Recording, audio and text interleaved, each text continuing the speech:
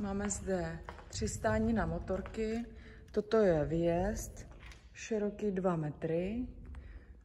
První stání, kousek širší, omezený z levé strany sloupem.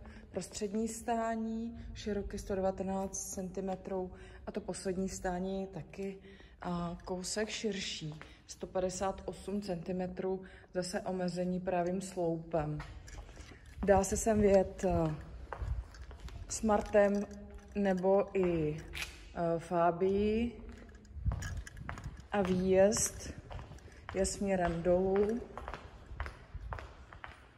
doleva a vpravo je vstup na recepci.